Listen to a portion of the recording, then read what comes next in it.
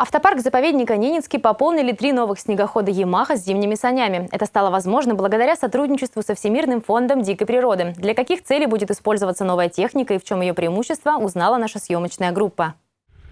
Эти снегоходы «Ямаха» имеют ряд преимуществ перед своими собратьями и идеально подходят для защитников природы Ненецкого округа.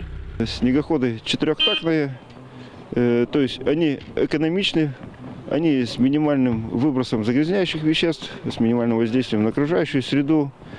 Ну и у, них очень большая грузоподъемность. Э, то есть мы обычно в заповедник, когда выезжаем, э, везем как топливо, так снаряжение, людей, персонал, различное оборудование. То есть можно, допустим, вместо двух снегоходов «Тайга» использовать один такой снегоход, как Yamaha Professional. То есть это и экономия, в том числе и бюджетных средств.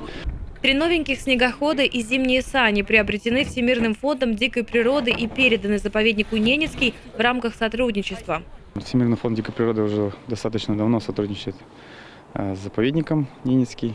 У нас э, чаще всего мы проводим совместную работу в области каких-либо научных исследований и мониторинга биологического разнообразия.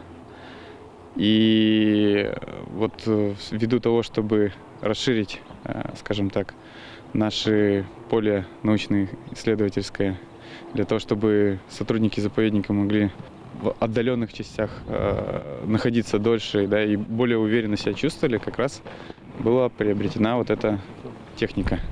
Такой подарок от Всемирного фонда дикой природы пришелся как нельзя кстати. Новая техника, уверенные экологи, в дороге не подведет. Благодаря этим снегоходам, то есть мы уже смело можем э, посещать наши самые удаленные участки нашего заповедника.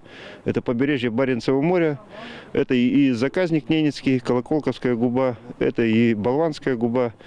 То есть, э, ну, больше шансов, так сказать, доехать без всяких поломок, приключений до наших отдаленных участков заповедника. Всемирный фонд дикой природы и заповедник Ненецкий – давние друзья, и это не последний совместный проект в сфере охраны окружающей среды и изучения биологического разнообразия. Ирина Никешина, Владислав Носкин, телеканал «Север».